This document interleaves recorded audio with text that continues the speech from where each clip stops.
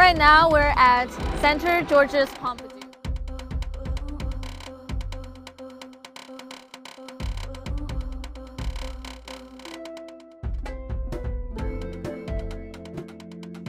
Centre Georges Pompidou was designed in the style of high-tech architecture by the architecture team of Richard Rogers and Renzo Piano.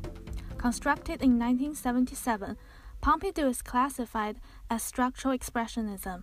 The design concept was to expose the interior infrastructure.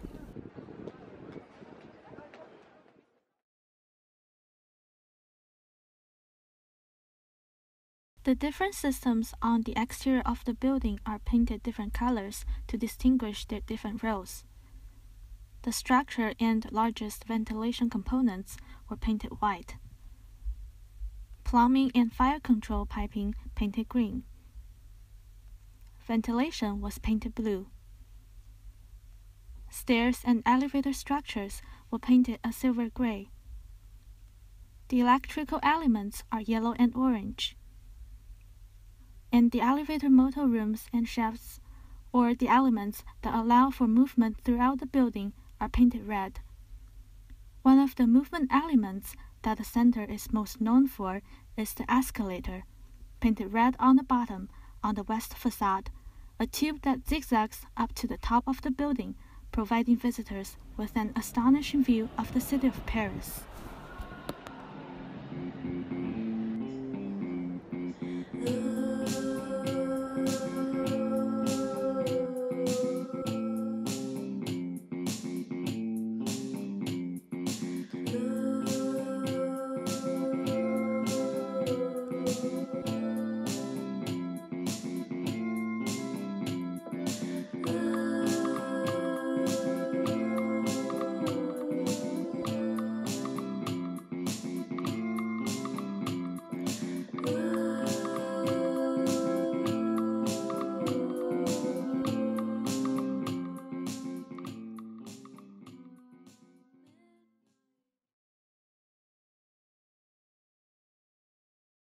The major circulation throughout the building is consists of a vertical elevator and a horizontal escalator connecting all the floors. There are five major programs in Centre Pompidou. A large atrium is located at the center of the building from level B2 to level 1. The very south side from level 2 to 4 is used as the public library of information. To the north side from level 3 to 5 there is the National Museum of Modern Art. Industrial Creation Center is distributed on different levels. If you are looking for a place to bring your significant other, Restaurant George's on the terrace would be top notch.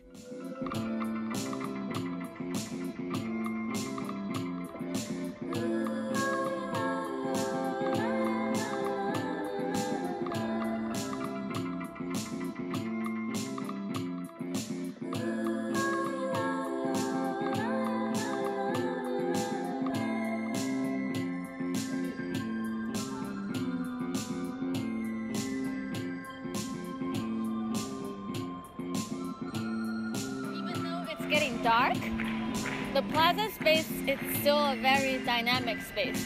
Look, oh, never mind.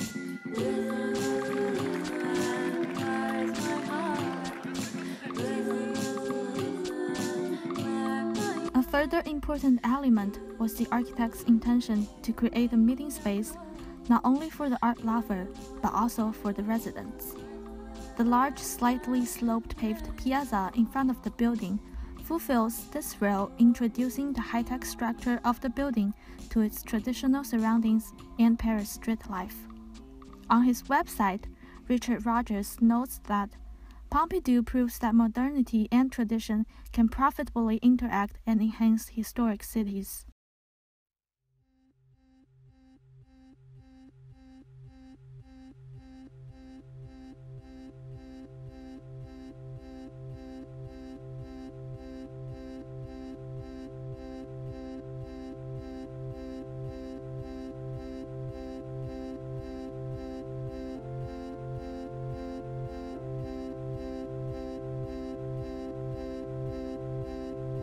Structure-wise, The most salient invention of Pompidou is the gerberette.